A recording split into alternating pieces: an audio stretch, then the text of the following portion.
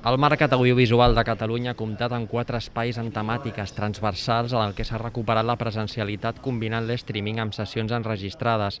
La Fira Max, situada a la nau Dents de Serra, s'hi ha pogut veure més de 40 estants d'empreses de caire tecnològic que han presentat els seus productes, juntament amb presentacions vinculades a la producció audiovisual.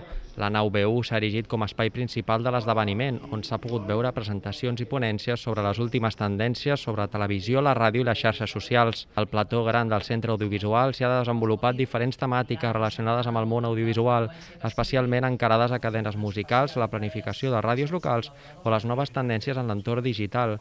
Una de les novetats d'enguany és l'espai dedicat a la primera trobada del podcasting a Catalunya. Sí, la part del podcast. Eh, no havíem sumat aquest espai, la, la sala gran de, del Centre d'Arts en Moviment, que està justament a sobre de la sala de concerts B1. Eh, teníem aquesta necessitat aquest any i eh, Roc Obert eh, ens l'ha cedida perquè portem a terme aquesta, aquesta trobada de podcasters, no? que crec que és molt interessant, que parla de moltes tendències i que eh, hi ha els principals podcasters. Quatre espais diferenciats que han recuperat la seva vitalitat i han sigut un espai idoni per conèixer noves tendències, fer sinergies entre empreses xerrades i oferir xerrades i contingut audiovisual transmèdia.